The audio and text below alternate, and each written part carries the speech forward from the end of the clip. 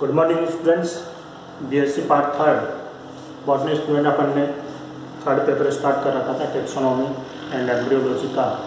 उसमें एम्ब्रियोलॉजी के अंदर अपन कर रहे थे structure and development of male gametophyte और उसमें मैंने आपको एंथर के स्ट्रक्चर के बारे में बताया था और पोलन ग्रेन का फॉर्मेशन कैसे होता है, उसके बारे में अपने स्टडी की थी। आज इसके अंदर हम बात करेंगे कि जो पोलन ग्रेन है, उन पोलन ग्रेन के अंदर मेल गेमेट का फॉर्मेशन कैसे होता है? यानी formation of formation of male gamete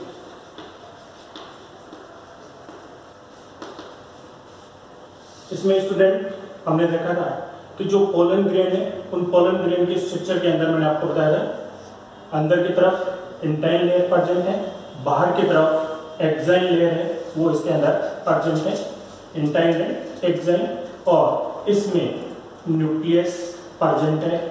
और ये न्यूक्लियस किस प्रकार का है? ये हमने देखा था, पोलन ग्रेन का जो फॉर्मेशन है, वो हुआ था मियोसिस डिवीज़न के द्वारा, यानी ये हैप्लॉइड प्रकार की स्ट्रक्चर है। इन जनरल यहाँ पर ये जो न्यूक्लियस है, इस न्यूक्लियस के अंदर नेक्स्ट जो डिवीज़न है, वो माइटोसिस डिवीज़न इसके अंदर होता है। और ये डिवीज़न जनरली जब ये पोलन सैक के अंदर प्रजेंट होते हैं, उसी दौरान ये न्यूक्लियस जो है वो इसके अंदर क्या हो जाता है? डिवाइड हो जाता है। तो जब इसका न्यूक्लियस डिवाइड होता है, उस डिवाइड होने से पहले इसमें मुख्य जो चेंज आता है, वो चेंज क्या होता है? कि यहाँ पर जो न्यूक्लियस है, ये न्यूक्लियस इसके अंदर एक साइड के अंदर, यानी इसके अंदर क्या कंडीशन पाई जाती है? पोलराइजेशन कंडीशन पाई जाती है और ये न्यूक्लियस जो है वो एक साइड के अंदर क्या हो जाता है? शिफ्ट हो जाता है और इसके चारों तरफ़ साइटोप्लाज्म प्रेजेंट होता है। और दूसरा जो भाग है, उस भाग के अंदर क्या डेवलप हो जाती है? वेक्यूल का फॉर्मेशन जो है वो इसके अंदर बनना शुरू हो जाता है। अब यहाँ पर जो न्यूक्लियस है, अब इस न्यूक्लियस के अंदर यानी ये पूरी की पूरी क्या बन गई? सेल है। अब इसमें जब डिवीज़न होता है तो ये डिवीज़न इसके अंदर अनइक्वल प्रकार का डिवीज़न जो है वो इसके अंदर होता है।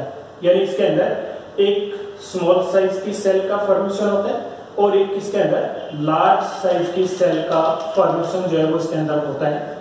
तो यहाँ पर जो बड़े आकार की सेल इसके अंदर बनती है, इस सेल को तो कहा जाता है वेजिटेटिव सेल वेजिटेटिव और ये जो दूसरा भाग इसके अंदर बनता है, ये कहलाती है इसकी जनरेटिव सेल जनरेटिव सेल है।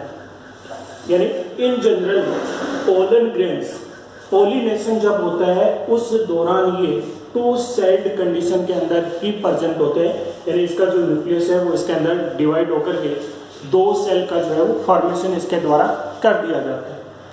जब ये पोलन ग्रेन्स स्टिग्मा पर पहुँचते हैं, तब इसके अंदर क्या चेंज आते हैं कि यहाँ पर जो जनरेटिव सेल वाला जो भाग है, ये जनरेटिव सेल भाग है, यहाँ पर इस इंटाइन लेयर को छोड़ करके और वेजिटेटिव जो सेल है, उसी के अंदर ये ट्रांसफ़र हो जाता है। यानी ये किसमें? बड़े आकार की वेजिटेटिव सेल और दूसरी जो है वो इसके अंदर छोटे आकार की क्या बन जाती है? जनरेटिव सेल जो है बन जाती है। इस जनरेटिव सेल का जो प्रोटोप्लाज्म या जो साइटोप्लाज्म है, उसके अंदर ज़्यादा मात्रा के अंदर सेल ऑर्गेनेल्स जो है वो इसके अंदर प्रजेंट होते हैं। और जब ये भाग कहाँ जाकर के गिरेगा? स्टिग्मा पर जाकर के गिरते हैं, यानी पोलिनेशन के दौरान जब ये स्टिग्मा के ऊपर जाकर के गिरते हैं, तब यहाँ पर इस पोलन ग्रेन के ऊपर पाए जाने वाले जो जर्म पोर है, यानी जहाँ पर एक्सेल एबसेंट होती है, उस जगह से फॉर्मेशन होता है पोलन ट्यूब का। यानी ये जब इसके अंदर जर्मिनेट होता है तो जर्मिनेशन के दौरान इंटाइन जो लेयर है वो एक ट्यूब फॉर्म के अंदर यहाँ पर निकलती है। किसको? एक्साइन लेयर जहाँ पर एबसेंट होती है, यानी जहाँ पर जर्म और प्रेजेंट होते हैं, वहाँ से ये ट्यूब के रूप में बाहर निकलती है। यहाँ पर इसकी जो डायरेक्शन है, दोनों जो न्यूक्लियस है इनके अंदर वेजिटेटिव और जनरेटिव इनकी डायरेक्शन कैसे होगी? कि जो वेजिटेटिव न्यूक्लियाई है, वो इसके अंदर आगे की तरफ़ प्रेजेंट होता है और जनरेटिव जो न्यूक्लियस है, वो इसके अंदर पीछे की साइड में प्रेजेंट होता है। उसका कारण क्या होता है कि यहाँ पर ये पोलन ट्यूब जैसे जैसे स्टाइल के अंदर आगे की तरफ़ मूव करती है, उसी के साथ ये वाला जो भाग है, वेजिटेटिव जो न्यूक्लियस है, ये इसके अंदर क्या हो जाता है? डीजनरेट होता चला जाता है और जो जनरेटिव है, इस जनरेटिव के अंदर फर्दर एक डिवीज़न होगा। यानी ये जो जनरेटिव जो न्यूक्लियस है, इसके अंदर फिर एक डिवीज़न होता है और ये डिवाइड होकर के यहाँ पर दो मेल गेमिट का फॉर्मेशन करता है। यानी यहाँ पर दो क्या बन जाते हैं? मेल गेमिट या दो मेल न्यूक्लियस जो है, उसके अंदर डेवलप हो जाते हैं। तो यहाँ हम जानते हैं कि जो एंजियोस्पर्म है, उस एंजियोस्पर्म के अंदर क्या पाया जाता है? डबल फर्टिलाइजेशन पाया जाता है। तो वो डबल फर्टिलाइजेशन कैसे होगा? कि यहाँ पर जो दो मेल गेमेट इसके अंदर बन रहे हैं, उनमें से एक जो मेल गेमेट है, वो एग सेल के साथ में फ्यूज होता है और दूसरा जो मेल गेमेट है, वो सेकेंडरी न्यूक्लियस के साथ में फ्यूज होता है। तो जो एग के साथ फ्यूज होता है, वो जाइगोट बनाते हैं, जो फर्दर आगे डेवलपमेंट डेवलप होकर के एम्ब्रियो का फॉर्मेशन करेगा।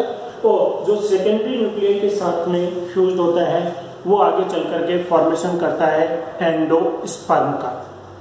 तो इस प्रकार से स्टूडेंट यहाँ पर हमने देखा कि जो पोलन ग्रेन है, ये मियोसिस डिवीज़न के द्वारा बने थे, यानी हैप्लोइड है। उसके बाद इसमें माइटोसिस डिवीज़न होकर के और दो क्या बन जाते हैं मेल गेमिट का फॉर्मेशन इनके द्वारा होता है। दो मेल गेमिट जो है वो इसमें बनते हैं। तो इस प्रकार से हमने देखा कि जो मेल गेमेटोफाइट है, उस मेल गेमेटोफाइट की स्ट्रक्चर किस प्रकार की है और उसका डेवलपमेंट जो है वो उसके अंदर कैसे होता है। नेक्स्ट वीडियो के अंदर हम बात करेंगे इसके फीमेल गेमेटोफाइट की। Thank you student thanks